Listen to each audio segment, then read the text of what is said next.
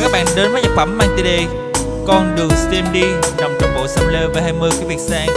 Để chọn được bài này các bạn hãy vào vần C, sau đó chọn bài Con đường steam đi và nhạc sẽ tự dạo chúng ta. Khi vào bài chúng ta sẽ tự đàn hoặc tự hát nhé.